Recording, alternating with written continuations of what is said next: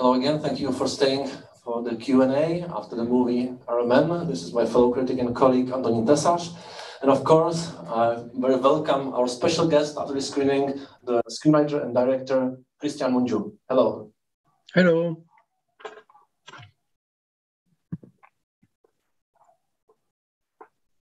Thank you for staying with us. Maybe FM will show you the, the full house of, of this evening. So check in Romanian audience also. Thank you so much. It's there. Thank you, of course. Greetings. Of course, there will be questions uh, from audience. There is a lot of space for you. Maybe for starts, I, I, I begin with uh, a little bit general question. Um, for me, one of the main topics of, of all of your movies uh, always been the human nature, maybe maybe the injustice or cruelty um, that so-called normal people are capable of. Uh, would you maybe agree and tell us more about this this uh, topic in our in our movies in general? Um, well, it's true that finally all my films speak about human nature, but also this is very general if you think about this. I'm always actually trying to find a story which speaks about, if you want, the the state of the world in that moment, about something relevant, relevant for me and relevant for uh, the way we are as humanity in that moment. I spent a lot of time preparing my films. I can't make uh, films very, very often. So somehow I need to believe that the things I'm talking about are somehow important. And this is why I end up by um, having this uh, human nature as a topic, if you want. Uh, but uh, in a way in which I try to understand always why people behave in a certain way in a given situation. And beyond the first level, I try to understand a little bit more profoundly. And when I stumbled across this story, because I always start from something that really happened somewhere, I, I had the feeling that it speaks a lot about uh, very many things that preoccupy me and I think preoccupy a lot of us today. It speaks about a certain kind of anxiety about the near future, and it speaks about uh, not knowing precisely what to teach our children about how the future is going to look. It speaks about our um, uh, trait of character of applying different uh, ways of reacting to similar situations. Um, so I thought it's somehow relevant for what happens today because first of all it speaks about this this difference between uh, our own personal truth the things that we believe deep down when we're at home and we talk to somebody else and we think that, that we are uh, deep down in our intimacy and what we say in, in, in public. I think that there's a gap in between and i think that any kind of uh, social improvement can start only after you are curious enough to understand what people really believe. And sometimes I think that, uh, you know, um, things evolve historically into their own rhythm, but on a human level, sometimes uh, some things happen somehow faster than people can really assimilate them. And one of them is this globalization with a lot of changes and a lot of changes connecting connected to something that i called if you want a new form of migration. Of course people always migrated but question is when somebody else that you don't know comes over to your territory why is your first impulse to consider him rather an enemy than a human being which is similar to you Because unfortunately, this is the first reflex to consider that somebody else is always guilty for something happening to you and not necessarily you. And first of all, to consider that he's an enemy. And part of it, of course, uh, has, uh, if you want, uh, historical, psychological explanations, but some other part is contextual and depends on each other situation in particular. Uh, you described uh, very general themes and topics uh, that your movie is based on, but uh, was there some specific uh, concrete event that happened in Romania or somewhere somewhere else that uh, inspire, inspired the movie, that inspired the, the, plot? Yes, as I said, I'm I'm always um, trying to to start from a real incident I continue reading a lot of press. Um, when I was in my 20s, I used to work for a while for, for as a journalist. So, and I'm really fascinated by a lot of things that I read in the press. So, I read these articles, I keep them, I store them in folders, and every now and then there is one which uh, has the potential to become a little bit more relevant for me. And it was the case with this one. Um, the story in reality happened in Romania um, two years ago, I think. It was right before the pandemic. And it happened in a tiny little village in the Hungarian living part of Romania, which is somewhere in the middle. And it became news, but it became um, a little piece of news and then big news, and uh, the government needed to interfere and then it became international news. And uh, what what made news is that you wouldn't expect for a small community, an ethnical community, uh, who always felt felt somehow uh, that they need to to fight for their rights. You wouldn't expect that they would be um, would have so little understanding for somebody else, and even smaller and fragile community starting to uh, unfold in within their territory. And um, as you can see in the film, there was a, a bakery, and they tried to hire some uh, Sri Lankan workers. So this is pretty similar to what you see in the film. Um, of course, then there are a lot of differences, and what I do is, you know, starts from there and it develops a lot of other themes. But uh, it happened like this. And um, what I did after I uh, wrote the screenplay, now, you know, um, it's it's easier now to document something because everything is on the internet, and I think that the only the only thing these people have not understood is that whatever they said was public, and this uh, uh, reunion of the town that you see in the in the film exists on the internet. Who speaks uh, Hungarian can Google and find it, and it's very interesting to watch. And uh, these people talk as if they are they are in their small community over there. But of course, this became news for everybody, and everybody could could watch it. And um, after I wrote the screenplay, I went over there and did a documentation talking to everybody involved in this just to see what the situation was. And after I finished the film after Cannes this year, I started a tour in Romania showing this film in a lot of places because we do not have uh, too many theaters left. And I started precisely into their community. And I screened the film precisely in this uh, town hall where it all happened because I really wanted to get back to them and to show them their story and to show them that even if everybody considers that they are absolutely guilty, the film uh, does not take sides and it tries to um, the circumstances in which some people made some decisions. Because even if even in a situation like this, and in all situations in which I start from uh, a public incident, I'm always trying not to be judgmental and always trying to understand why somebody decided in a certain way. You told me earlier that you screened uh, Beyond the Hills yesterday. it's, it's the same situation. People always consider very, very easily that somebody is guilty.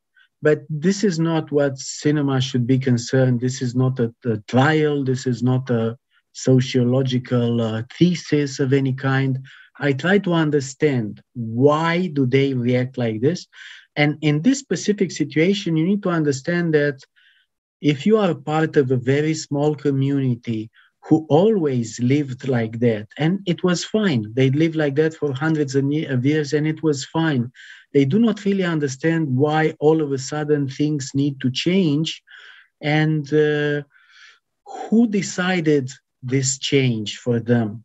Because they do not have the feeling that all the things that, that, that are changed now are part of their own decision. They experience this as if somebody very far away in this very imprecise concept called Europe or Brussels decided, and all of a sudden they need to change something that they don't want to change. So actually, they they didn't feel very guilty, and um, I noticed something that showing the, the the film in a lot of, of places so far in in Romania, everybody watches it from his own perspective. Uh, given what his ideas about uh, xenophobia and about tolerance are, they watch the same film, but they interpret it in very, very different ways. For me, what's important always when I start from a true incident is to see what is the deep relevance of that incident. And for me, this film speaks about a lot of things. It, it speaks about uh, this conflict that exists always between us people. It's enough to have two people in a room and there's a potential conflict.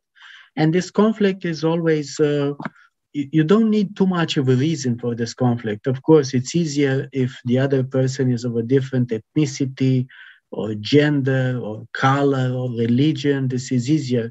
But you will be surprised to see that people feel conflictual to the other, even if I don't know, they are very similar. Still, there is something deep down, and I would say that it's our animalic nature, if you want. Um, there's always a clash, and this is what the film is somehow trying to talk about. This clash, which is always in between us, between our desire to survive, to fight for survival, to defeat the others, and to live on, and our more empathic side, but this empathic side of ours is not as old as our animalic side. It's something that we developed through education, religion, culture, somewhere in the last 5,000 years.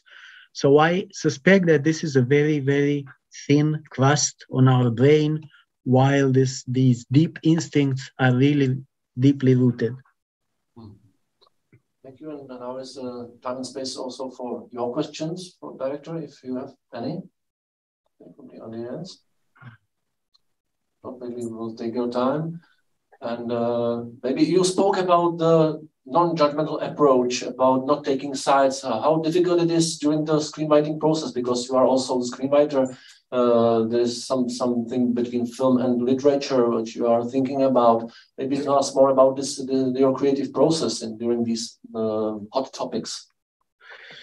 Um, the most uh, the most creative part um, of filmmaking for me is when I write. To be honest, it's it's really more complicated than when I direct and always because uh, this is when the film takes shape and I'm always having a lot of objectives when I'm writing. First of all, when I write, I know something that uh, I will shoot in uh, plan séquence. I will just shoot very long takes for each other scene, and this influences somehow the way I write. It's uh, a description of what um, the action, how the action is going to be, but that's that's not what's difficult.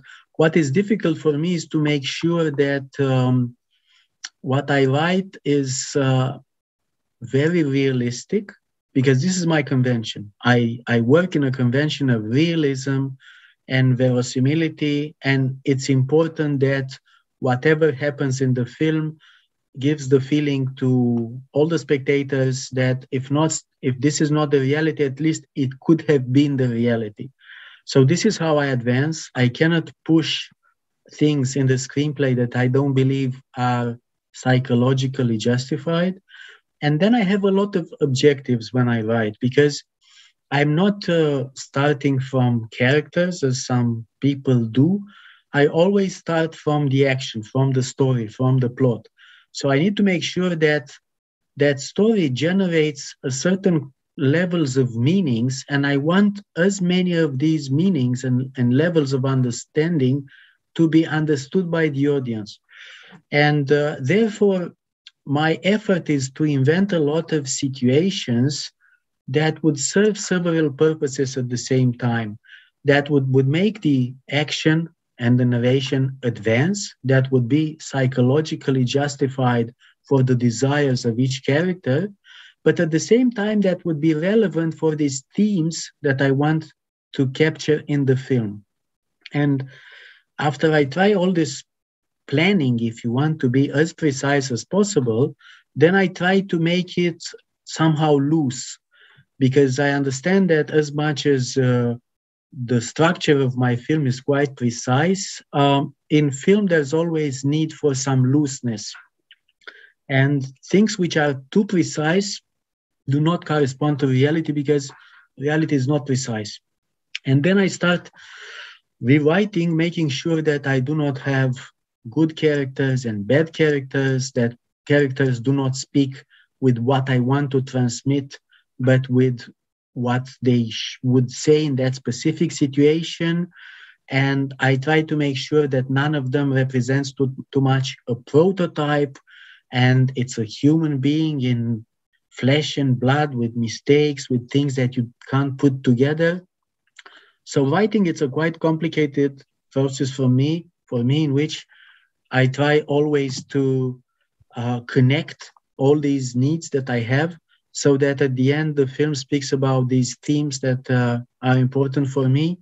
And it speaks in a in a way in which i keep a balance between having them reasonably clear and allowing a degree of abstractness into what I'm saying.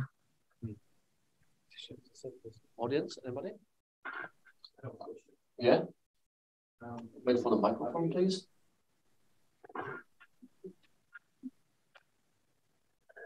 Um, hi, hi, Cristian. Um, Hello. Two small questions. First one, do you consider yourself more as a poet or as a surgeon uh, in your movies? As a what? Or as a surgeon? As a poet? Yes, either a surgeon or a poet. Um, hmm. Look, um, to be honest, I don't, I don't consider myself in any way. To be very honest, I mean, my life doesn't look at all as, as you know, as people would imagine.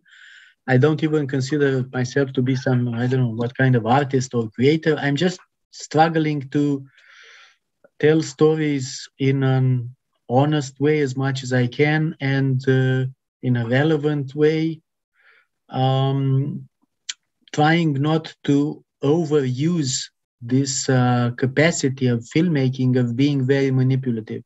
But if I am to choose between these two things, I think that I don't know, it's uh, 60% uh, surgeon and 50% poet, just to make a joke okay. And is there any pain for you personally when making these movies? Is there any pain? Pain. Pain. Oh yes, quite a lot. Thank you for the question. Nobody has asked me this. yes, I mean it's uh, there's uh, it's very difficult to be honest. Uh, it depends how you how easily you you you you take things in life, not only in filmmaking but in life in general and then in filmmaking. And as you see, I, I, I adopted the most complicated way of uh, shooting. Shooting every scene in just one take is the most complicated way of shooting because uh, it's a way of uh, giving giving up editing voluntarily and i do this simply because it corresponds somehow to my philosophy about film and reality and the relationship between them. As much as you know, uh, reality is a continuum, there is no editing in reality, and this is what makes it unbearable. then I try to replicate this into the films. And every other moment, I try to capture it in just one perspective so that I respect this time that flows inside. Because, as you know, editing is a very, very personal uh, decision of the filmmaker. Basically, the filmmaker decides that from this scene, only these two portions are useful and the rest I will eliminate. While if you shoot just long takes, it's a responsibility that uh, you pass to the viewer, but together with some trust. He is the one who is going to decide what's important in that shot and what not, and not you as a director. You as a director, you use your skills to be able to set the situation in such a way. But to get back to the pain part of the situation, um, you know, um, the film does not exist before you make it, as you know. So being a filmmaker means making a lot of decisions always. And these decisions are not you go right or you go left. You are like in a crossroads with a lot of options and you don't know which option is going to take you anywhere. So after you, you know, when you start, when you, you, you begin at the beginning of your career, it's easier because uh, somehow um, you will surprise people whatever you do. There is no comparison. You haven't made films before, you make a film, some people will like it, some people will not. The more you grow old and you make some films, it becomes a bit more complicated, to be honest, because um, uh, all of a sudden you did a lot of things already and you don't want necessarily to make the same film all the time you need to refresh these things and uh, refreshing and find, finding uh, your innocence that you have at the beginning it's a very complicated process so uh, there's a lot of pain for me in writing first of all. That's the most and not in writing to be honest the most complicated part is deciding what to do next. That's complicated. Once you decided it's more craft. And then when you shoot you know there's something about this film um, there's a very long scene in the film at some point and this is the third or fourth film that i do in, in just one one take per scene. And of course i developed a sort of skill if you want uh, but at the same time, every morning I know what I need to do. I make a rehearsal, we start shooting, and I see that things are not there yet, and I don't know why, and I don't know what to do. And this is uh, this is not an accident. This is the way you advance into this kind of filmmaking.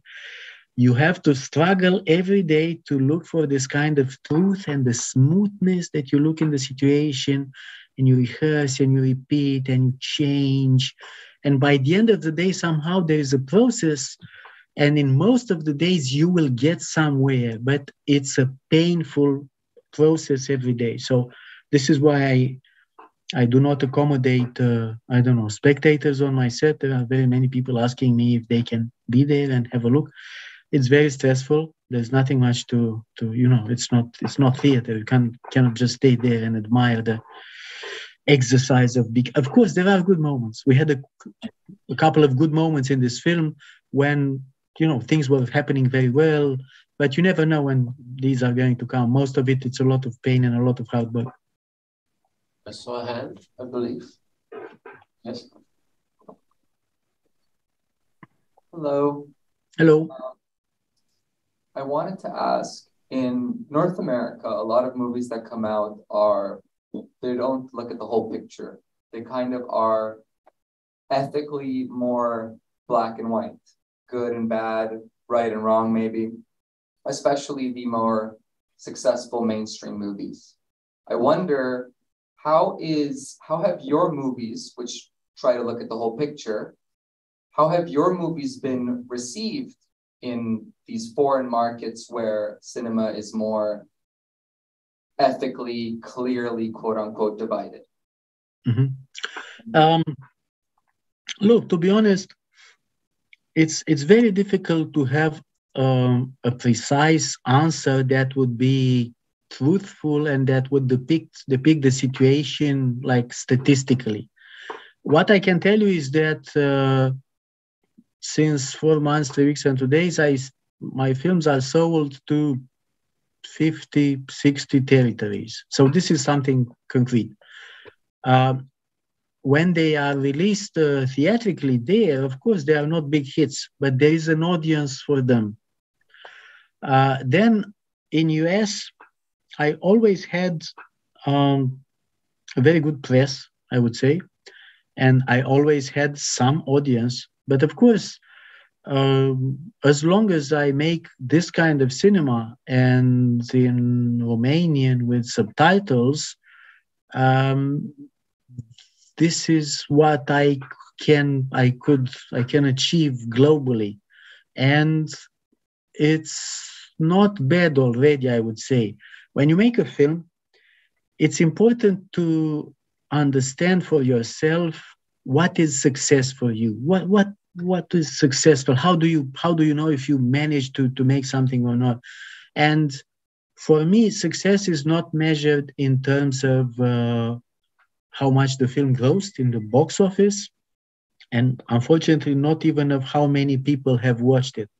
Of course, I'd like as many people as possible to watch what I do, but on condition that they can follow what I'm trying to do. For me, it's more important to be honest with my way of filmmaking than to be popular.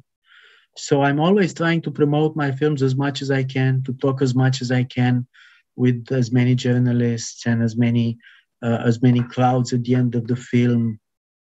I'm really interested that the film uh, circulate and I watched, but um, mainstream is mainstream, and mainstream is simpler because it serves a different purpose.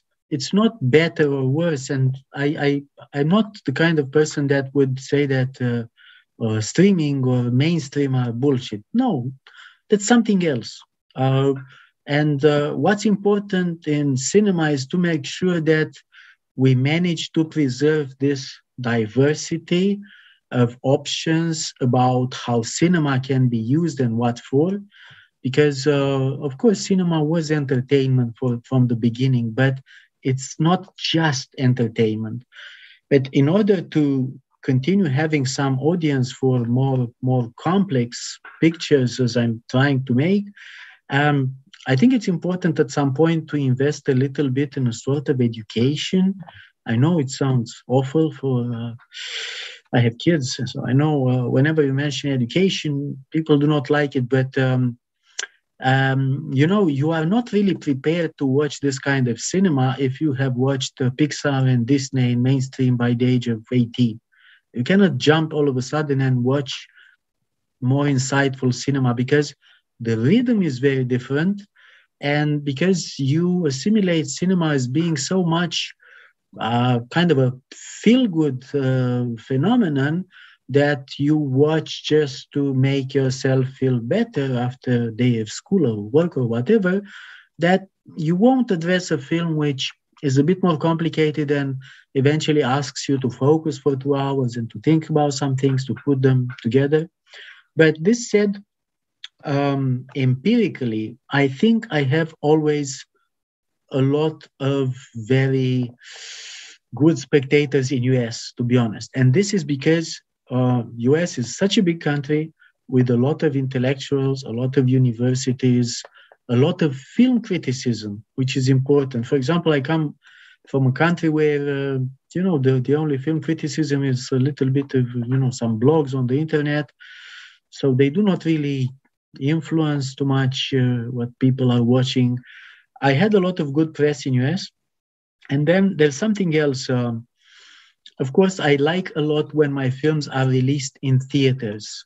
That's the ultimate goal of every filmmaker. But at the same time, there is a world of festivals. We have to acknowledge that a way of releasing for the for these films are festivals, and in the festivals, I don't know, my films will cruise 50 to 100 festivals, so there is going to be some audience there. What matters more for me is um, the quality of the conversations that I'm having with the audience by the end of the film. Whenever this is good, and whenever people have understood at least some of what I wanted to have in the film, it's already okay. And if people were not bored, have not left the audience, have not left the theater, and they have understood pretty much like 80% of the film, it's already very good.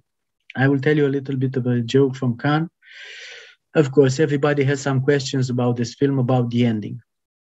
And of course, the ending is not very clear for very many people because, not because it's not clear, because it's interpretable. And I was talking to somebody from uh, US who liked a lot my film in Cannes, and I said, "Don't worry, the film is going to be well received there. There's just one catch: people won't won't understand precisely the ending. So during the promotion, you need to make sure and tell them that look, if you didn't get the ending, it's all right. That's okay, so that they don't feel uh, uncomfortable because they are so much used that everything is clear in a film that they have some problems whenever things are not crystal clear, black and white, as you say.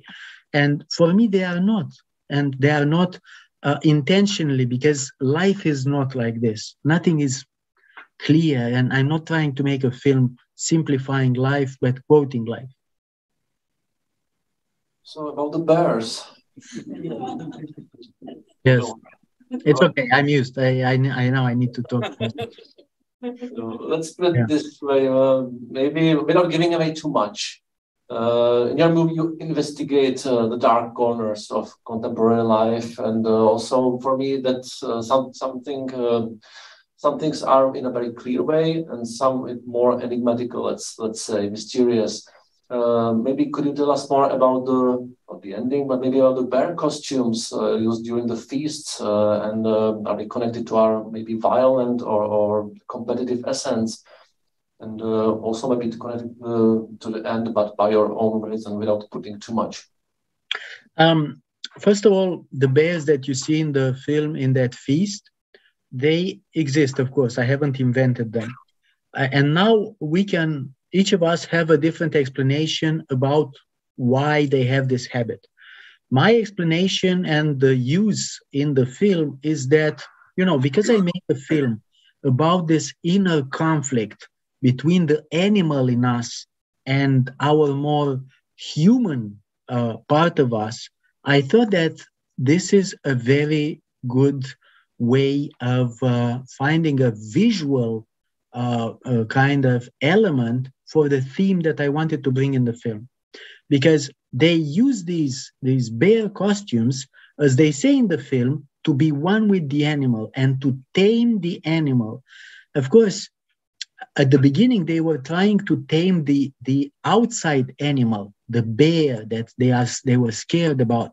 For me, in the film, what's important is that the film tries to speak about this um, need that we have to tame the animal inside us. That's the animal that we need to tame. And if you want, this is how I'm getting closer to the ending. At the end, the film is made in such a way in which it's never absolutely clear what this guy sees in the forest. And the what I liked a lot in, in all these screenings that I made accompanying the film is that people had a lot of explanations because I'm trying not to give them an explanation myself. And not because I want to keep things for myself or whatever, but you know, uh, film expresses itself in a certain way with a certain degree of abstractness, if you want. And if you try to translate everything into words, you will oversimplify some things. So some people there were convinced that these are just bears from the forest. For some other people, these are people dressed in bears. For some other people, uh, they are creatures of the dark coming from this uh, subconscious that the forest represents. And this is also a very good interpretation. For me, what matters at the end is that I speak about a character who is in between these two worlds that's the part that I can speak about in this in this kind of conversations. We have a character at the end who tries to figure out things, and all of a sudden he is in between these two worlds a, a, a, warmer world, a world of music, of affection, of love, of community, of the woman, of the woman he loves. And this is on one side, and on the other side, there are the there is the darkness there are the instincts there are all these animalic impulses and this forest this darkness calling him to his basic instincts Uh, I was asked, what is he going to do? I don't know. Question is, what are we going to do? Because this is a fight that we are always, all of us having in us in different degrees. And sometimes we choose better, sometimes not. But, uh, you know, unfortunately, we speak now after this uh, war in Ukraine has started. And this war shows you something that's awful that uh, in a flip of a coin from today until tomorrow, there is such an unbelievably uh, dark side in each of us, and we can be cruel to such an extent and do not share any kind of feelings and empathy towards somebody else as long as somebody delivers us a story and makes us believe that this other person belongs to a different tribe. And that that's that's kind of sad to to to to understand this about the way we are. And uh, i think that somehow the film also speaks about this need of introspection and this need of making sure that we know what our beliefs are about the others about the world about tolerance because now um, you know i have this feeling that because of this uh, political correctness, there's a very dual um, kind of truth existing in our minds at the same time. One which is what we really believe, and the other one which is what we say because we know that this is correct to say. Anybody from the audience? Maybe? Okay, so let's leave the bars for the uh, for the imagination of the spectators. Spectators. Uh, I would like to ask you something that is more connected to your method and maybe to the pain you were asked already about. Uh, uh, I'm interested in maybe the most complicated shot in the movie, that is the very long shot of the town meeting. Uh, how how was it made? What is what, what was most difficult in making this shot? Uh, was there any space for like improvisation by the actors, or was it written uh, in advance? Um, first of all, there's something to say about this. Um, it, it was complicated to make, very, very complicated, it's true, but it's important if the shot um, fulfills its purpose. Because finally, you do not make films to show how strong you are and what you can do. I made that shot so long because it is part of the logic of the whole film. If the whole film presents everything in just one, uh, one single uh, long shot per scene, I couldn't have broken this grammar for that shot.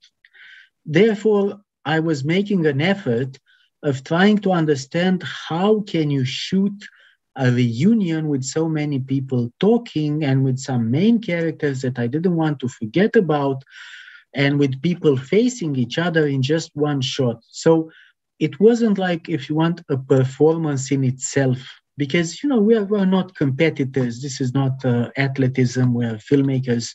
And I'm very happy whenever people do not notice necessarily how this shot is made.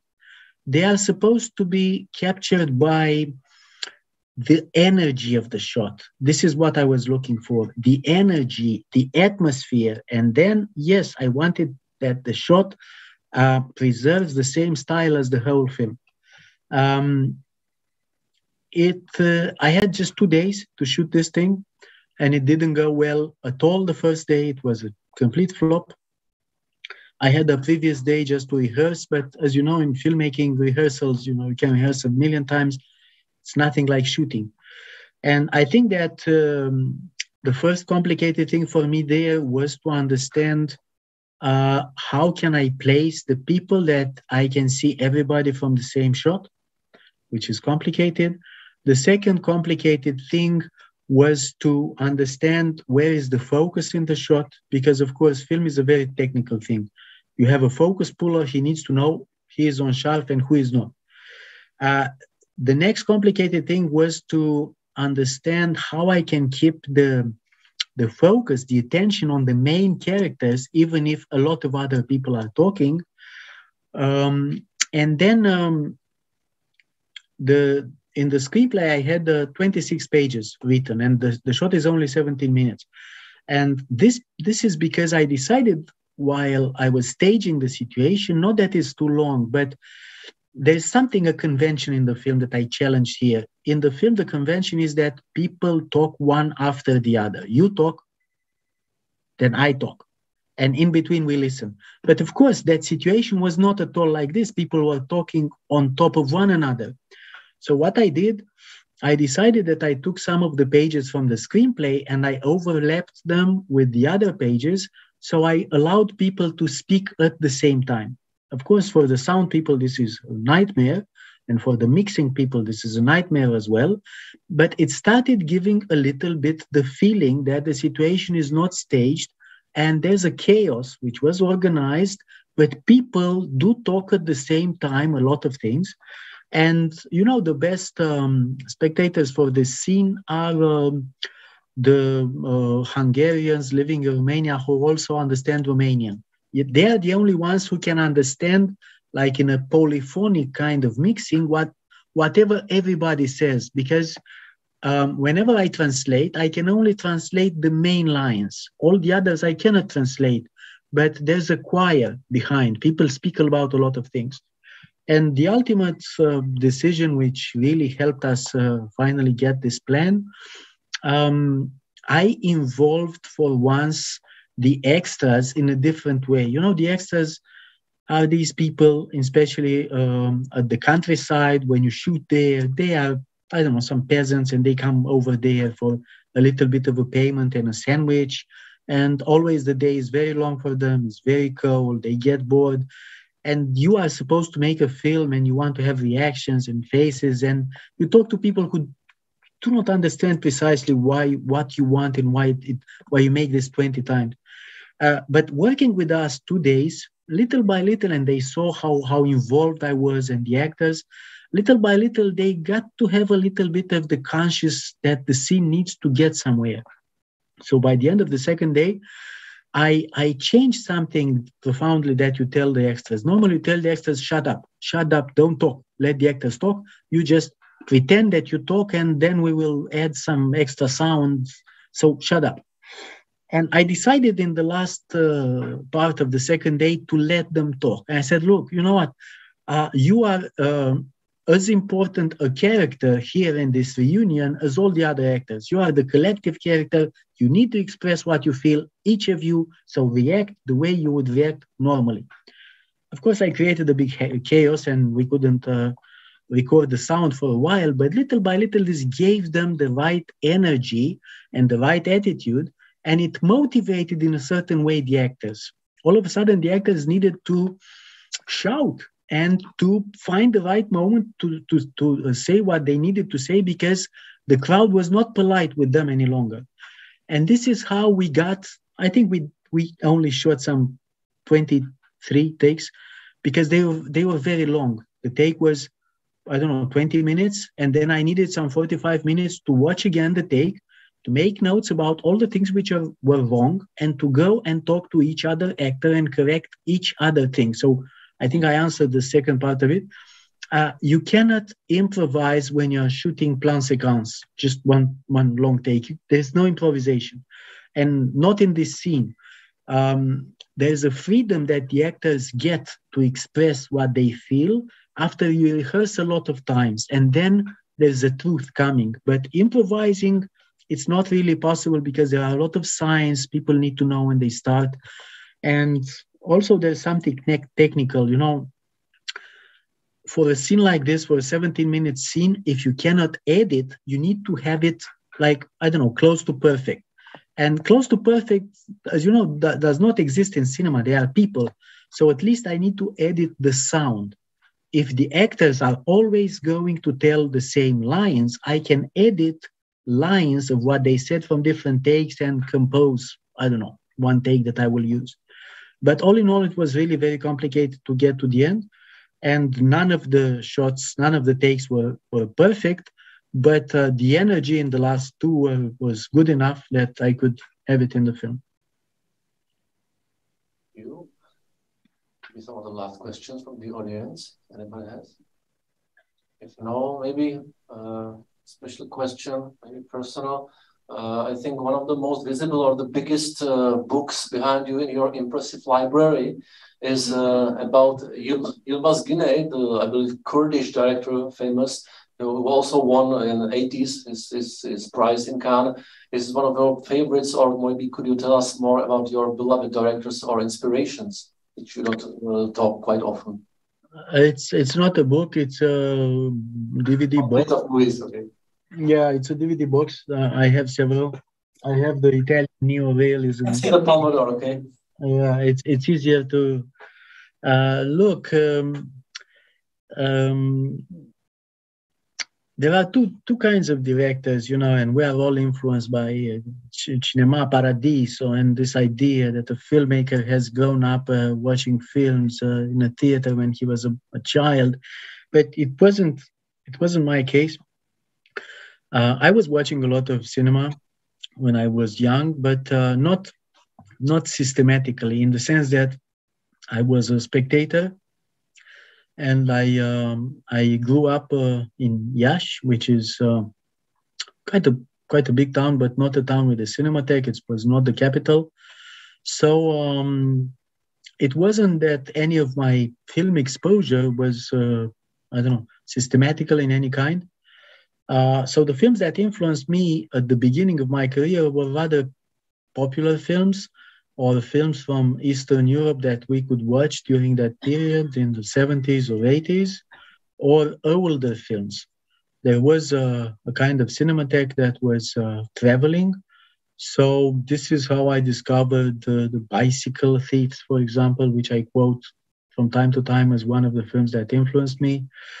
Um, on the Romanian television in the 80s, we could watch uh, Kieslowski's Decalogue, which was very different from the kind of films that uh, Romania was doing.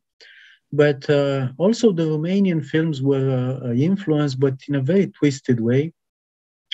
The censorship acted in a certain way in Romania, and I don't know uh, how people got to be directors during that period. But um, the, the films that we did, we produced in the 70s and 80s, were nothing but truthful. They didn't have anything to do with reality and we often used to say that i don't know uh, in these films there were people that looked a little bit like us and speak a little bit like us but at the same time they were like aliens. Nothing like that ever happened in reality psychologically speaking. So somehow i think that i developed and pretty much most of the directors of my age developed this i don't know this uh, belief that if ever we are to make a film, it's going we're going to make it way better and more truthful and closer to reality than all the films in theaters that we were watching. And I think it's not an accident that we were all driven by realism, because uh, it was, if you want, a reaction against a, cert- a certain kind of a very metaphorical way of filmmaking, which was probably justified, let's say, in the 80s because of the censorship uh, and because people, uh, the actors were trying not so much to tell a story, but to insert in the film some quotes against the regime and stuff like this, some comments. But this didn't have any more relevance after the fall of communism. So all of a sudden, after the fall of communism, we had a very, very bad period of 10 years in which our cinema didn't go anywhere. And I think that we reacted somehow to, to that period and uh, this led to, I don't know what some people call this Romanian New Wave, which was kind of inspired by all the realistic movements in the history of, of cinema. But I want to get uh, back to the bears for a second. I don't want to, to, to let the audience leave without having, having an answer. I can't have a more precise answer and interpretation that I did. It's just that um, if you think about the meaning of the forest and if you think about um, i don't know um, the subconscious where from from where all the fears come i think that it's going to be easier for you to interpret the ending of this man being in between two worlds with a lot of i don't know uh, impulses and instincts and creatures that haunt him and call for him. And it's about the struggle that he needs to um, handle, about uh, himself, about his decisions, about his future, and about his children, and about what are the rights, the right things to tell to your children in a world that we live today. Anybody from the audience, finally? If not, uh, ladies and gentlemen, this was Cristian Mungiu, the director with the most complex answers for our question. Thank you for your time and for your movies. Thank you. Thank you so much. Thank, Thank you very much. Thank you. Thank Goodbye. You and uh, hope you will enjoy the next uh, mental hygienes in, in September. There will be movies, new extra movies by Gudmundur Arnar Gudmundsson, a new Ulrich Seidl, also a new Olivia Wilde. So hope to enjoy it and see you in September. Thank you very much.